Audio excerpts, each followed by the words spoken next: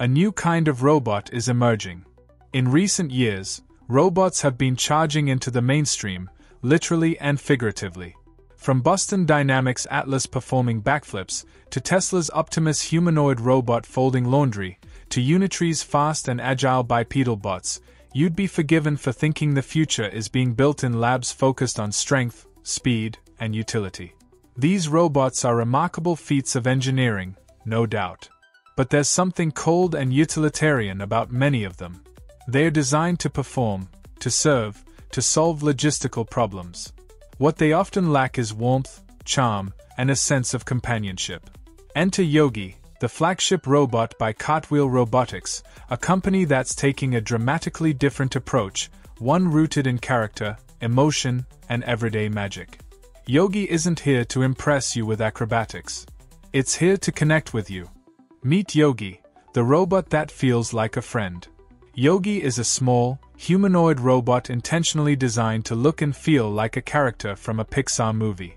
About the size of a toddler, with a rounded body, oversized head, and a soft, chubby aesthetic, Yogi instantly communicates approachability. This is not the robot you'd find on an assembly line. This is the robot you'd find in your living room, waving hello or mimicking your dance moves. It's designed to be endearing, huggable even, breaking away from the harsh, metallic appearances that define most robotics.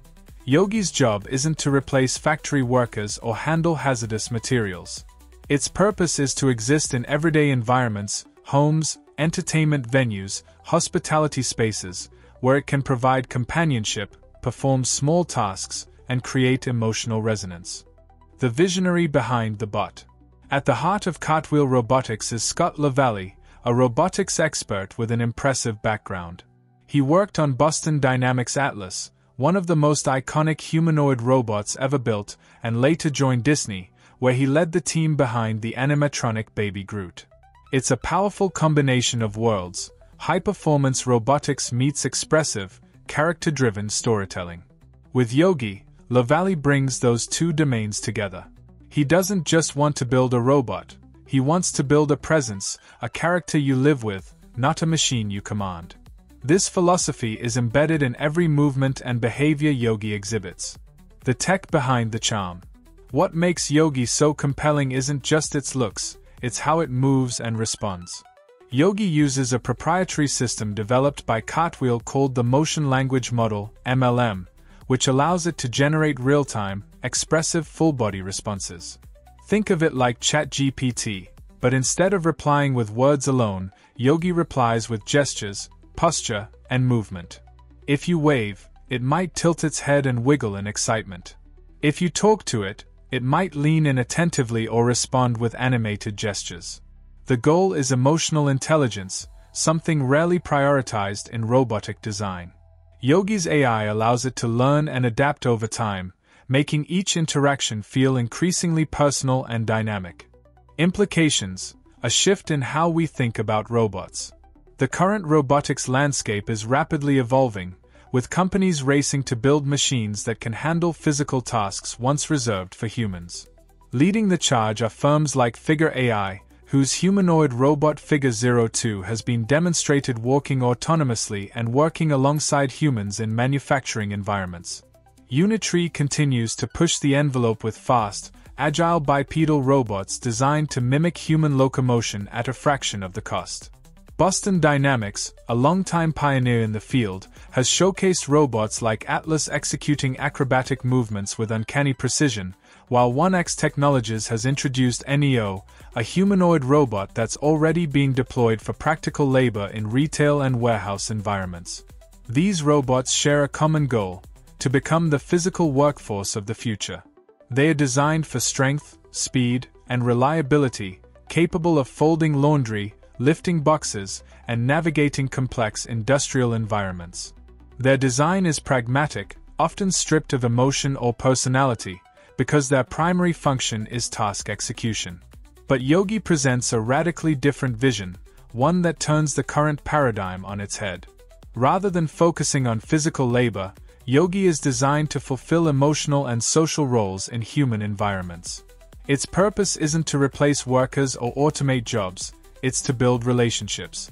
Yogi doesn't attempt to look like a hyperrealistic human or act like a mechanical labor, it embraces a character like form, similar to a Pixar creation, with expressive movement and an oversized head that immediately conveys innocence and approachability. Its unique blend of soft robotics and emotional intelligence suggests that not all robots need to be productivity machines. Some can be designed for presence, not performance. This opens up a deeper philosophical question what do we actually want from the robots in our lives? As robots begin to move from factories into homes, schools, and public spaces, the expectations shift.